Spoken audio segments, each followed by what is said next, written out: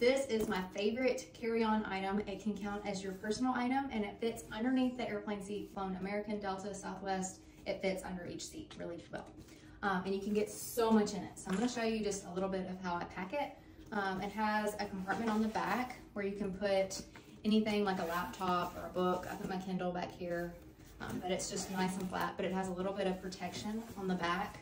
I like to put my ID and my passport back here where it opens. It has because it's against my body usually, so it keeps it secure. But you have your main compartment up here.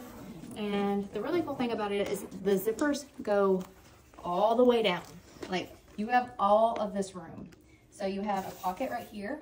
I actually put an air tag in here because it's an inner pocket. It'd be hard for somebody to just take it out quickly.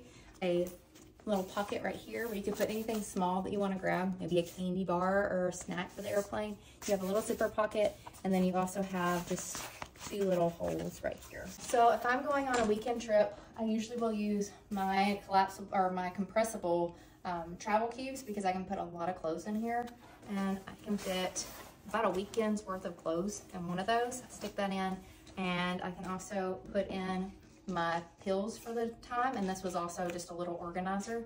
So it has all my medication in there stick that in on top. It also has room. I can put my earbuds in here. There's still a ton of room in here. So but you can see you can fit extra stuff. I probably could even get my makeup in here. If my makeup in there we can zipper up.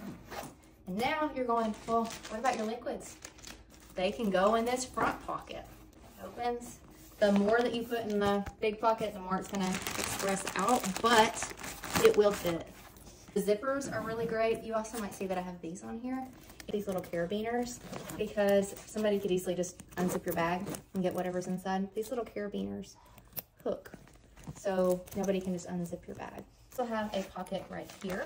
I like to put my little Lysol wipes. You also have this little pocket right here and it can hold, I have like Kleenex, um, a pair of um, nail clippers, pins, that kind of stuff in there. Then you're not done. There's still another compartment. You can unzip this part. And this is waterproof. So you put like something wet, like bikini or whatever you wanted, swim all weekend. Or you can also put your shoes because these are gross on the bottom. So I can actually shove my shoes in here. Now, if you have the top filled, you're gonna give up some shoe room because it's gotta come from somewhere.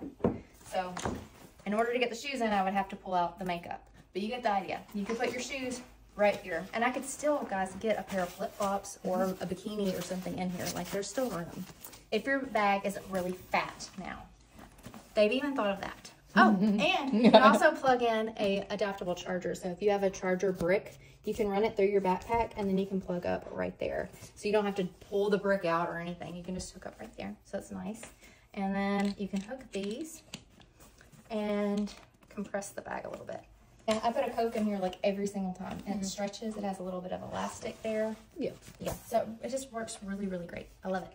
And the fabric is durable. Oh yeah. This backpack has been to on at least five trips. It's been overseas places and it still looks really good.